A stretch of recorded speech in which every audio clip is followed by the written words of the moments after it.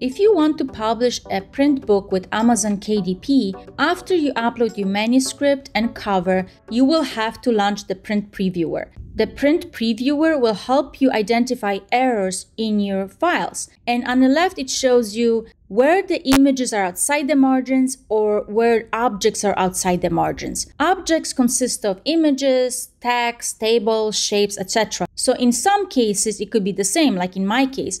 Now you can click on the pages with the errors to identify them, or you can just manually flip through the book. You can also use the thumbnail view at the bottom to see all the pages at once. Now, once you identified a page with some issues, you can zoom in by clicking on the page to see it more detail. The pages with errors will have this red triangle with exclamation point, and sometimes will have like a red line showing you where the object is outside the margin. And that is exactly what is happening with my book. All my images in my index are outside the margins. Now, how do you fix that? How do you know how to realign, reposition, resize your images or objects so they fit within the margins? The trick that I've been using is basically taking a screenshot of the pages with the errors and going back to my word processing software. Once you open your word editing software, and I'm using Mac Pages, but you can be using Word just as well, the trick is to resize and reposition your screenshot of the error pages below the images in your word processing software. So I'm just going to resize them to make sure that they match up. Now I can see where I have to make the adjustments. So now I can resize my images a bit and realign them to make sure that they fit within the dashed lines that indicate the margins for the book. Once I'm satisfied, I'm going to export it again to a PDF file, upload it to Amazon KDP, and launch the print previewer. And now I can see that I don't get the error messages and all the images fit well within the margins for the book.